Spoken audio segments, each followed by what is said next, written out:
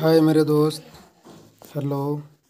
ये दुर्गा जी का प्रतिमा, जो मिट्टी का मैंने बनाया है, इसका कुछ बैकग्राउंड का जो काम है, ये प्लाई का काम किए हैं और इसका अस्तर शस्त्र का कुछ यूनिक ढंग से मैंने काम किया और इनका आकार और इसका ढांचा जो है, ये बंगाल से हम टच किया।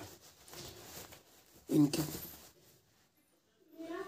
वाहन बोलो या जो भी गणेश जी बोलो फिर आने वाला असुर को आप एक बार देख लीजिए। इस असुर का कुछ यूनिक टाइप का है। दोस्तों, आप कमेंट में ज़रूर लिखें कि इनकी आर्टिफिशियल में कुछ कमी रहा क्या, ताकि आपके कमेंट से मुझे कुछ सीख मिले। और एक मूर्ति शाइनिंग एक होता है और एक एक लाइटिंग होता है, जिसमें कि मेरा शाइनिंग वाली मूर्ति है। जो कपड़ा वगैरह लगाए हैं, मुकुट वगैरह जो है, ये एक अलग ढंग से है और इनका आँख का कुछ फिनिशिंग ही कुछ और है। ये आँख नॉर्मल है, एक आँख कड़ा मुद्रा में होता है, जो तांत्रिक दुर्गा बोला जाता है। ये मेरा नॉर्मल आँख है।